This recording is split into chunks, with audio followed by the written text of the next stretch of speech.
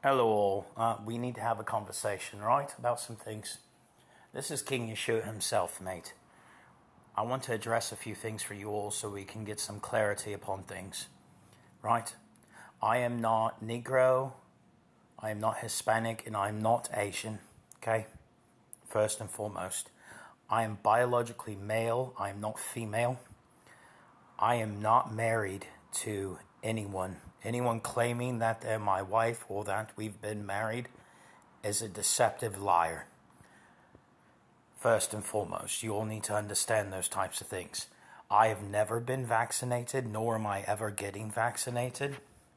Today's date is January 24th, 2023, a Tuesday at 3:54 p.m. Eastern Standard Time.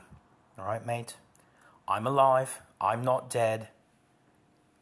And now you know the truth, mate. Because again, there's a lot of people who have scribed a lot of malicious lies about me. Another thing, I am not AI, AGI, ANI, or ASI. I am not technology whatsoever, nor am I a politician at all. And that's a fact.